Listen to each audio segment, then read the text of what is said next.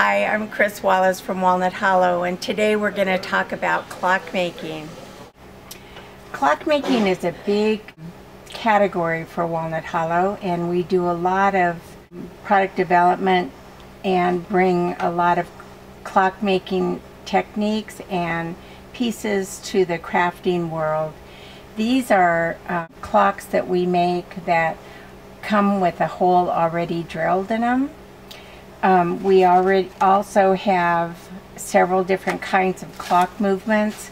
Some come just with hands, hands and numbers. We have um, pendulum movements. We also sell hands and clock faces and numbers separately.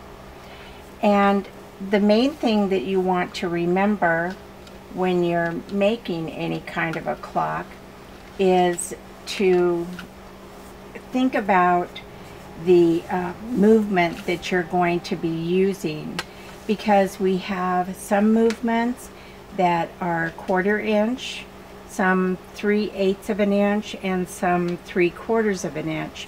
So it depends on the thickness of your wood as to which of the three uh, sizes of shaft you're going to need for your clock. If you are making your own clock, we have kinds of wood surfaces that can be used. You can drill your own hole in any of these surfaces and I've even made clocks um, with the top of a box. So you just need to drill into the surface of the wood or you can make a clock out of anything. We've used Wilton cake pans. You can use a straw hat. There's all kinds of things that you can use. You just want to make sure that you use a 3 8 inch drill bit and that's what this is.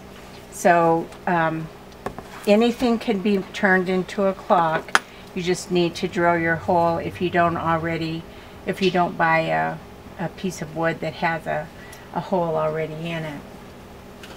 On the back of your package, any of these packages, you have instructions to put a clock together.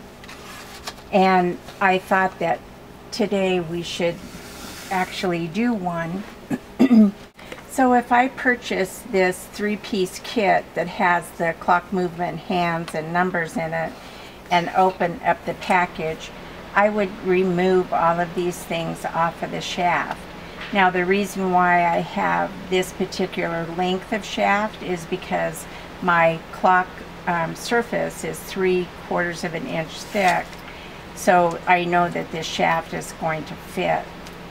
So let's take everything off here and before I put the movement into the back of the clock I'll have the rubber washer on here and then slip it into the surface and just lay it on a fat flat surface so you're ready to um, to work. And then place the washer down first and then you have a hex nut and you just start screwing that on.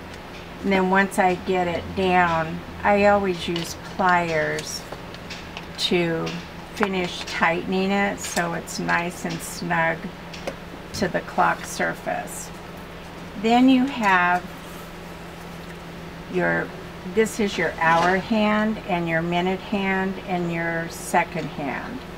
The first hand that goes down is the hour hand.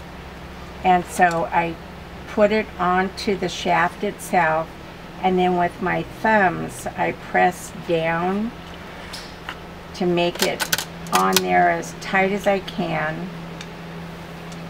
Then you take the hour hand I mean the minute hand and the minute hand has um, it's not just a regular circle on there there are two flat sides so you find the place where it fits onto the shaft itself and take this other little, it's a little minute nut, it's called. So you screw that on. So once I get it started, then I'll take my pliers and again, I want to make it nice and tight on there so that it's not going to go anywhere. Just tighten it with one turn so it's snug. And then the last thing you do is you take this little piece on the back of the second hand and put it over the entire thing and just press it down with your thumb. So that's how you put all the parts together to make your own um, clock movement onto your wood surface and then you're ready to do the numbers. The numbers are adhesive on the back so all you have to do is snap them off of the um, little bar and when you put them onto the surface after your clock is already decorated then press it down and they'll be nice and snug and you can put all the numbers on the clock. So that's all about clock making here at Walnut Hollow. Thanks for watching. We'll see you next time.